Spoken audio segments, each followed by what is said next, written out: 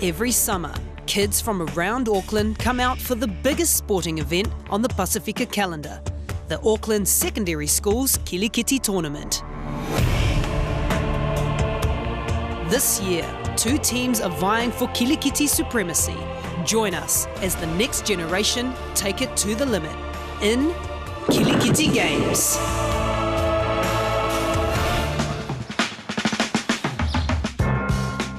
Mr. Samuela has chosen his final list of players, and today the Kelesone Senior Kilikiti team have their very first training of the season. On this list, there's a few boys that I'm not too sure about, so kids that I haven't seen before or um, haven't been in the program with junior kilikiki or senior kilikikis. Leon, Leon! Nice! It's a good feeling, getting to know everyone, bonding together with everyone, so that we have a good team for the tournament coming up. Getting to um, see everyone who made it, getting shocked by all the people that I thought wouldn't make it.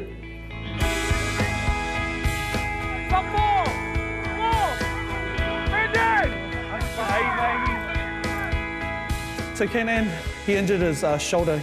He's got a real passion about kilikiki and he's come along, he's offered to do our buckets, so he's bringing all the buckets, he's uh, bringing all our balls, he's offered to um, get his mum to help with transport, so he's really committed to the cause. So I've bestowed upon him assistant coach basically, and probably on the day he'll be the vice captain. This is your time to shine, mate. I was happy when Mr. Samuela gave me assistant coach, even though I wasn't playing. I was real gutted, but to be a part of the team was still special to me. When I found out I was in the team, I was happy. Thank Mr. Samuela for putting me in this team. He puts his body on the line. He's really, you know, giving it all, whether it be with the ball or with the bat. You know, he's not scared. He relishes the opportunity to, to play against big boys and to show that, that kilikiki isn't just for big boys. You can be whatever size, whatever age, and, and, and go hard. But just as the boys begin to get into the swing of things as a team, players start to drop off. The problem oh. always this time of year, it's just so busy. We're competing against Polyfest, so within our team, there's probably at least five to 10 boys who are involved with Kilikiki, as well as Polyfest. Also with First 15 Rugby. So some of these boys are here at 7 o'clock in the morning till 8 doing rugby, and then they've got a school day, and then afterwards they have to do Kilikiki. The moment I'm in the Samoan group for Polyfest, yeah, we'll get in trouble if we don't go, or we might get kicked up, No, no, no, didn't I say this half was staying still? because we're scared of our tutors, Albert and Mika. They're, they're scary. They're um, strict. Mika, he's strict. They don't play around with him. Get your stuff and go home. Anyone else want to be funny? Anyone? The Kilikiti boys try to slip in and catch up with the rest of the Samoan group, but aren't finding it so easy. We always get punished if we go late. Say we'll have to do squats. Hands forward. Up.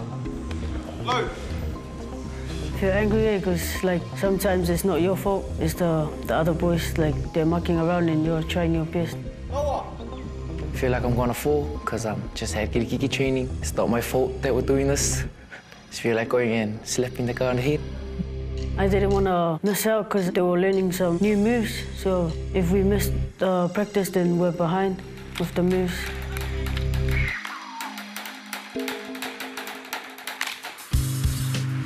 For McAuley High Senior Kilikiti, today is also their very first run as a team, and their coach Neil wants to get straight down to business. Please, no mucking around. Just line up. Um, we'll start off with the normal warm up, and um, Miss will call out the first two batters, and then we'll get underway. We want to step up from last week's training, please. It was real makanga. Becca, whoever is on the gears, go grab the um, wickets, please, and the bats. Yes, go. All right. The girls' energy levels, they are sort of like mine at the end of the day, but you just got to get on with it. You don't bring whatever energy you had in the classroom out here, so I have to up the energy for them. Come on, ladies, let's go. If it means growling, then I will growl. Run. Are you listening to what he's saying? He said you guys have to sprint. Vai, sh- vai. Auge whakaaloka ko mea. Do it properly. Catch. Becca. Uh, Roy. It's because they haven't played before and they got chosen for the team and they don't know how the like how the trainings go. We were laughing, we were mocking the girls that were training because um they couldn't catch the ball. But Miss Tapu's helpers don't seem to be doing their job either. You two were supposed to bring the gear.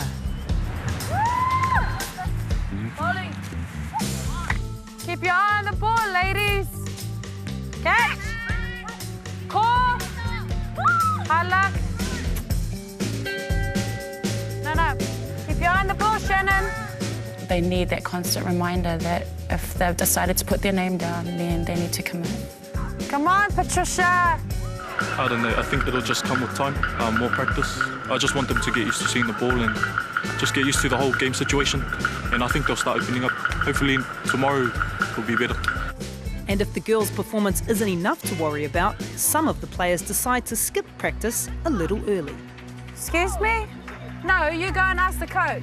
It's not fair for the rest of everybody else that's here. That's honest. I got indoor. Go and ask her. It's not fair on the team. They didn't ask permission. It's not just my permission they need to ask, they need to ask the coach because it's not just my time and the other girls' time, it's also the coach's time as well that they're using up.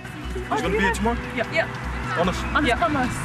Honest. It's just Wednesdays. See, that's Wednesday, Thursday. Tomorrow. Oh, yeah. Yeah. It's quite disappointing because they're seniors and they're the ones with the most experience and like they should like be here to teach us what's right and what's wrong. You know what? You and Patricia can run laps tomorrow while the rest of them are training. Did you hear that, Trisha? Laps tomorrow for leaving your team. No, you didn't even come Whangoia. At least she came. Run laps or do the hopo. Frankly, it's just not fair and they need to do laps. Get off our grounds. We'll see you tomorrow.